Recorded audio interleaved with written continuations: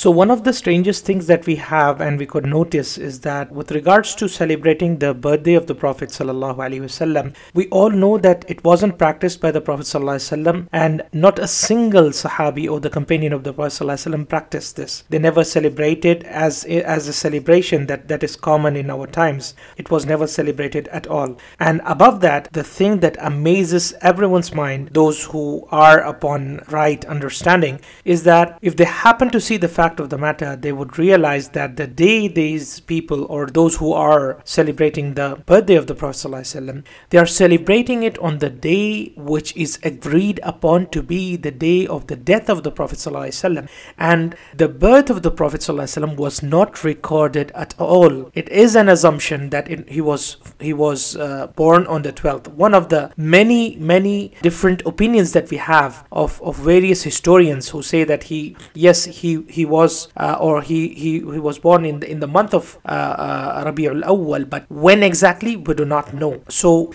there are a number of opinions saying that it was such day and such. So why did this happen? It was because the recording of that date wasn't given a high importance because nobody knew that that was the Prophet ﷺ.